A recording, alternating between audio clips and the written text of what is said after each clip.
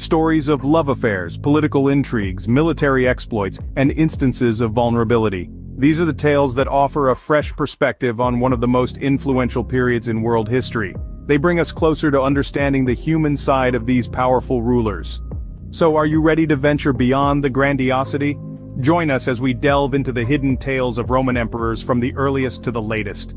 Let's rewind to the beginning, with the rise of the first Roman emperor, Augustus. Now who exactly was Augustus? Born Gaius Octavius, he was an astute political strategist who navigated the turbulent waters of Roman politics to become the first emperor, forever changing the course of history. After the assassination of his great-uncle and adoptive father Julius Caesar in 44 BC, young Octavius found himself at the center of a power struggle.